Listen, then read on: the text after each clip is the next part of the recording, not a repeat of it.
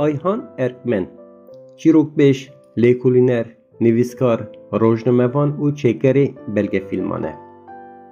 Ayhan Erkmen di sala 1973 de li Qersê ji dayik bûye. Di zarokatiya xwe de li ber çîrok û stranên çîrokbêj û dengbêjên Herêma Serhedê mezin bûye.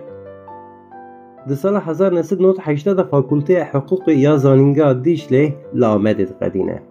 Heya sala du hezar çar a li Qersê parêzertiyê dike.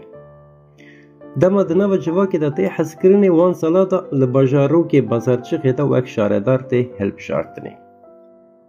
Di sala du hezar û şeş de pirtûka xwe ya yekemîn biyografya helbestvan û parêzer Abdurahman Alaca dinivîse.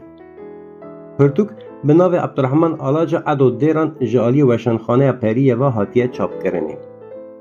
Di sala du hezar neh de pirtûka wî ya bi navê Şev û Deng ya Helbestan bi bernavkê Jan Dêran ji aliyê Weşanxaneya Lîsê ve hatiye çapkirinê.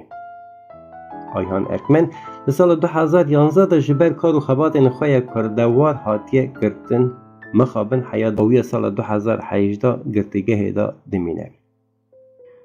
Ji sala 2019 pê ve li ser kanala YouTubeê çîrokbêjiyê dike û her hefte bi awayeke rêk û pêk çîrokekê diweşîne. Di sala du hezar bîst de pirtûka wî ya bi navê Çîrokên Qersê hatiye çapkirin. Piştî Çîrokên Qersê ew zozanên ser hedê tevî mereq dike, lê digere, sala du hezar bîst û yek de jî pirtûka wî ya bi navê Çîrokên Ser Hedê tê çapkirinê.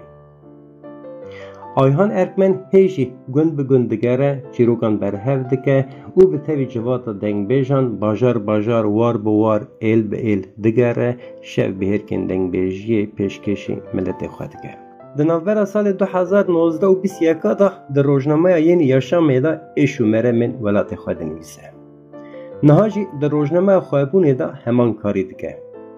Ayhan Erkmen ji kovara Dilopê ya mehane re jî nivîsên wek portre dinivîsîne. Wî di encama lêkolînên xwe yên derbarê dîroka Kurdan û êzdiyatiyê de gelek belgefîlm çêkirine.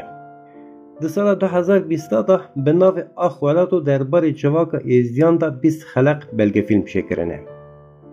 Di sala 2021 de bi navê Leheng derbarê jiyana lehengên Kurdan de yê sedsala bîstemîn de hejdeh xeleq belgefîlm çêkirine.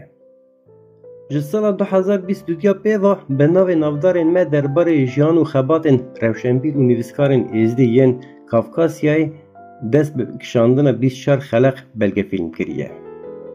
Ew niha jî pirtûka xwe ya bi navê çîrokên dengbêjan re mijûl dibe û çanda dengbêjiyê hewl dide berhema xwe da raberî miletê xwe bike. Ayhan Erkmen di avakirina kanala me Yekbûn TV'da jî gelek ked û emek daye. Ew mirovekî nefs biçûk, dilrehm û dilmezin e.